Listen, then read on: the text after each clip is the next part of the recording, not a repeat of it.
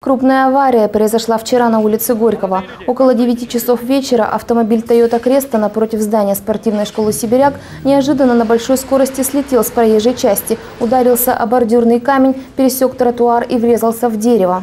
Его остановочный путь э, составил от места доноса до столкновения с третьим деревом 60 метров.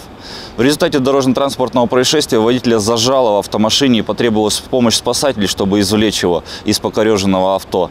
Э, Также его двое пассажиров получили травмы. Э, Один с переломом бедра, а второй с переломом челюсти и, соответственно, черепно-мозговые травмы были доставлены в БСМП города Ангарска.